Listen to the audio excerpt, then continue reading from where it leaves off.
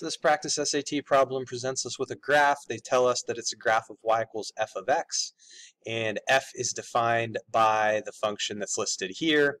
a, b, c, and d are constants that they don't give us the value of, and we're asked to try to decide how many values of x does f of x equal 0. The function value is equal to 0 when the y value is equal to 0, or when we are crossing the x-axis and it should be pretty obvious as long as you remember what we just said that it happens for this function three times.